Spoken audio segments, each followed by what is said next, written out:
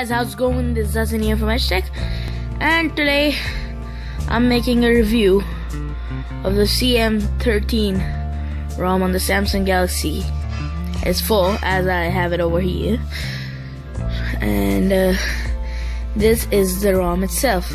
So starting off uh, with the differences in the lock screen. As you can see, the clock is a bolder font and instead of a call shortcut you now have a voice assist icon.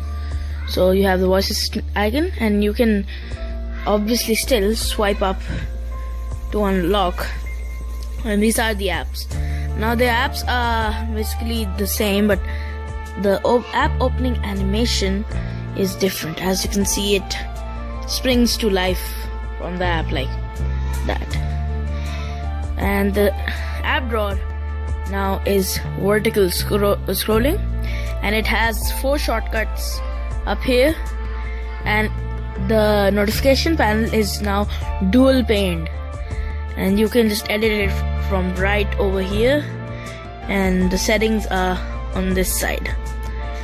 And uh, what are the other differences? Well now getting on to the marshmallow features number one is the doze mode.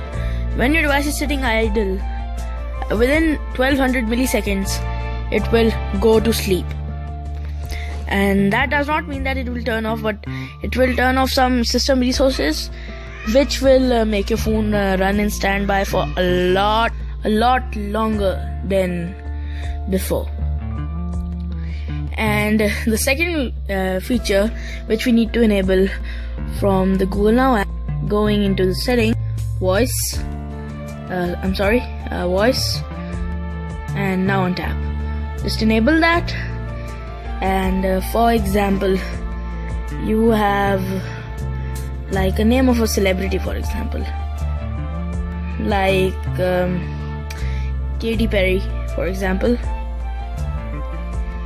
Now when I long press my home button it should uh, wait let me search now it should tell me more about it.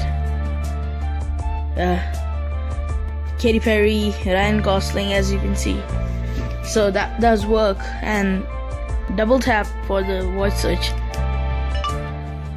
from anywhere. So yeah, that still works. To enable it in the settings, just go obviously to the settings app and go to the buttons and set the home button as you require. So I have set the long press action to be the search assistant and the double tap action to be the voice search. So yeah, you can set it however you want. Now another feature that we need to enable on the the development options go into and uh, in settings and about device you just tap the build number seven times. And once that's enabled you go to the developer options. And then obviously you if you want root which you obviously do want apps in ADB okay? And another exciting marshmallow feature which uh, may take away from you wanting to install the TouchWiz ROM multi window mode now when I tap this icon and I choose the layout, two apps will be opened side by side. And here we get to the next point. The camera does not work. It does not work at all. no matter which app you install, but for the time being, it does not work. So that's why I don't recommend you making this ROM a daily driver Let's also have a look at the Easter egg. So, for the Easter egg, you just jump into the settings, about phone, Android 6.0.1. And it is Marshmallow. As you can see, it is actually Android Marshmallow. So, there so that's the proof. That it's marshmallow. Also you can see it says the CM13. so yeah. Unless you don't really want to use the camera for a while until the developers figure it out.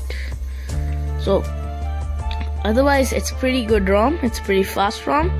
So I've got all the features of Android Marshmallow.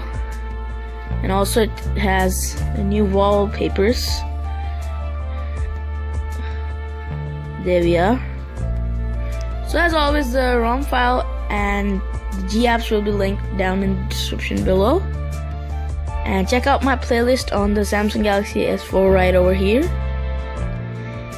And subscribe.